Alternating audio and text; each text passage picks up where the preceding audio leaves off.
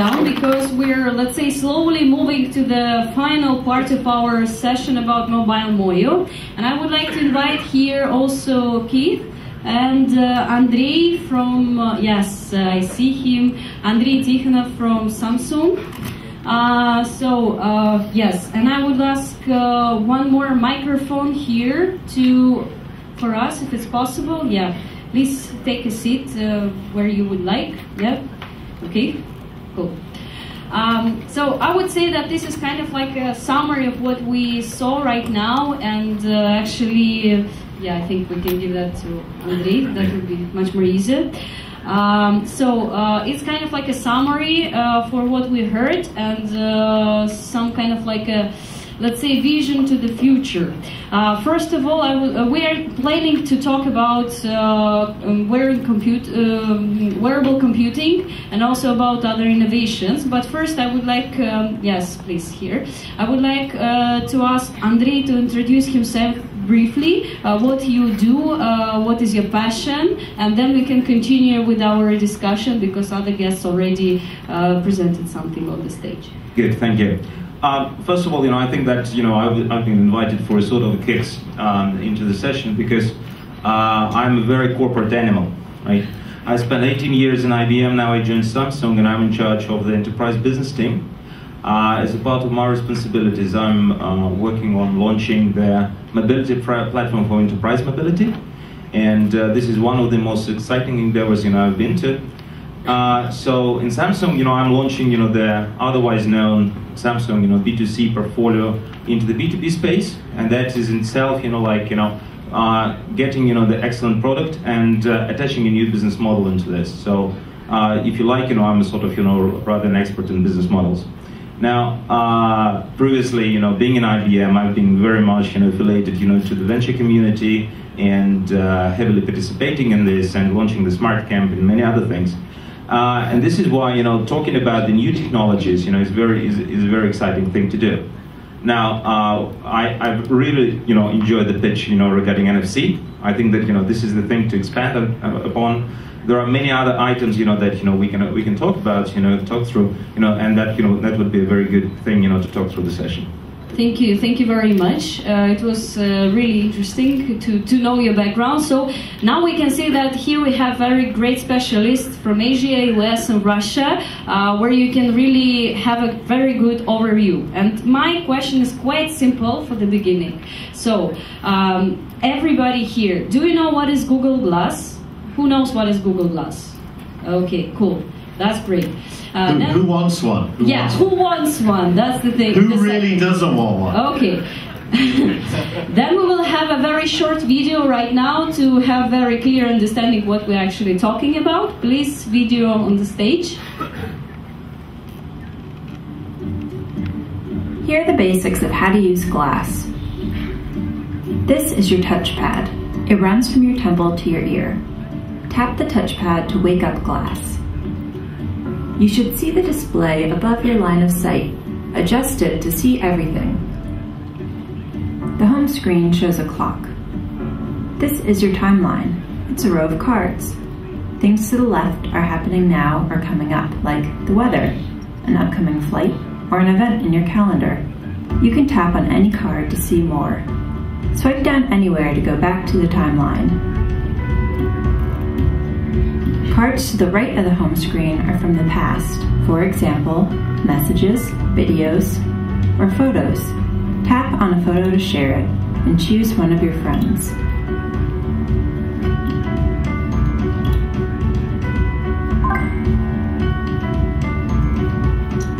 Swipe down to go back to standby. And have fun exploring. This is the Google Glass. And my first question to uh, our experts, could you tell me please, what is that? Is this is the future of uh, wearable computing or it's just a geeky cool thing which nobody cares about and will play for a while? What is that? Who would like to start? Well, I think it's both, right? Okay, okay it's a geeky thing, right? And it's both the future. So I think that uh, you know, first of all, you know, it all starts, you know, like a technology and ends up in, in a distinctive market. So, and I think that you know, like it has, you know, each and every endeavor, you know, has its stages, you know. So for now, that would be a stage of establishment. You know, those things, you know, we already saw, you know, in a couple of movies, I believe, right? But uh, you know, turning this into a platform, you know, this is where it gets boring, right? Now, um, I think that you know, uh, you know, it, entering the market is only as good as you know making this a platform, you know, the platform of choice and this sort of thing. So for a while, you know, indeed it will become, but then you know, as the as the stack of application on top of this thing, you know, would rise, then it turns into the market. And I think, well, you know, I think Google proven has proven to the world that they are able, you know, to make up the platform. You know, so you know, that's another one. Okay. Somebody else? So, so the, you know, the way I think about platforms is uh, a, good comparison is, you know, the five-year plans during the Soviet Union period uh, that Stalin did which was, you know, we build a, we know exactly what we're going to build. We're going to build it like this, and after five years, we will have built it, and then we'll have another five years. This kind of top-down platform planning, that isn't the world we live in anymore. Platforms actually emerge spontaneously, largely from consumers, actually, these days. So Instagram really began as an app, but became a platform, and now it's a key platform within the Facebook world. It's the photo sharing platform, for, and not just for Facebook, it goes beyond that and, and, and it wasn't envisaged to be a platform. So Google Glass really depends on what it becomes. Now, we all know Sergey, of course, is Russian. This is Sergey's project. Sergey's crazy. We all know that, okay? He's kind of totally crazy. It's kind of like, you know, crazy. Russian crazy, that's like kind of conclusion, you know, he's, a line. he's crazy in a good way, but he really believes people are going to look you in the eye whilst doing this. You know, it's like you're talking to someone whilst doing this. I, I don't think that's going to happen. I really don't. But I do think wearable computing with the ability to hear, to video, to listen, uh, to watch will happen. But the form it will take, uh, I don't think probably Google Glass, but if it wasn't for Google Glass, we wouldn't learn what the form will be that it will take. So it's a great thing that he's doing. It's a fantastic thing, but it probably is just, uh, for me, it's just uh, the first experiment in, in, in going, you know, he makes a joke. He says, okay, well, this is weird, but this is even weirder and more rude. I mean, if I'm having dinner with uh, Daria, if her husband will let me, um, and I go like this, it's really rude. And he says, you know, this is less rude, but it's still pretty weird. That's the question. yeah, it's pretty weird. Okay, okay. Could you tell us, please, because what I heard is also that you have kind of like a prototype of some kind of like Google Glass uh, glass in, in Japan also. So let us know. Yes, um, I totally agree with Keith, and um, I think it's still early days to, to to figure out whether it's relevant to us or not. And, um, and, and, at the same time, I think um, Google or Google Glass needs a competitor in order to justify its presence um, or its existence in the market itself too. So that's why uh, one of the um, one of the more famous entrepreneurs in Japan, his name is Takahito Iguchi. Um, he's the father of the um, augmented reality app called Sekai Camera from Japan. Uh, he just came up with a new venture called te- Telepathy. So he is now coming up with his own version of Google Glass. But then again, I don't see the business model yet. And I think um, I do agree with Keith in saying that um, unless we see something out there in the market where um, people could have a third eye view and say, well, it's going to work or not. It's not going to make sense for business um, in the short term. So I think uh, for me personally too, it, it's just it's just me willing to pay 1500 US dollars and say, well, I may like it or not. If I don't like it, I'll put it on um, something auctions or something and have every, you know anybody else uh, buy it from me. But it, it's still early to say, I think. Okay, thank you. Now we have, let's take uh, opportunity for a couple of questions from the audience, if there are any, uh, regarding uh, previous presentations or regarding our discussion. Seems there is one person behind. If we could, uh, yeah, and here. Uh, Ola, is it possible for you to help us, please? We have a microphone here or here. Yeah, that one would be transparent. Yeah. Uh, just two questions. So the first person was uh, in the red shirt. Please introduce yourself And then Leonid, you will be the second one because you were very quickly. Hi, uh, my name is Alex. Uh, I'm from a company called Parallels. I have a question for uh, Keith regarding the mobile messaging. Uh, great presentation, by the way. Thank you. Uh, what do you think about BlackBerry Messenger going outside of the limits of the BlackBerry platform for iOS and Android this summer? Uh, do we really need another messaging platform in terms of uh, mobile messaging? Well, the first thing is I, I, I think mobile messaging is like um, a six-month-old baby. It, mobile messaging is in its infancy, and it's very, um, you know, the features of mobile messaging are evolving. It wasn't too long ago that mobile messaging meant text. Now with most of the apps you can put pictures into your chat uh, or even videos but it's still a chat. It's it's uh, it doesn't include the features of email for example or more richer enduring styles of messaging. It's just uh, temporary messaging that you only do in instant messaging so messaging is in its infancy it's very young and i don't so, so will the the real question is will the current messaging companies evolve to embrace human features. And I, I, I think of uh, BlackBerry as uh, a hardware company with good software. So I, I, was a little surprised that they today announced that they're going to be releasing the BBM for iOS and for um, and, and for Android because they make their money from selling hardware. So if they're successful, it just gives another reason not to buy a BlackBerry. Uh, I don't quite understand what they're thinking, to be honest. Having said that, I think their software is better than WhatsApp. It's better than Line. It's more fully featured. Um, it relates to the alerts and notifications are, are, are, very well done on their platform. So maybe they think they can evolve into a services company. Maybe that's behind the thinking. I would like to think that um, the, the next generation of um, I call them human apps really more than messaging apps because we humans we do all kinds of things. You know, why is Evernote so popular? Because we save things.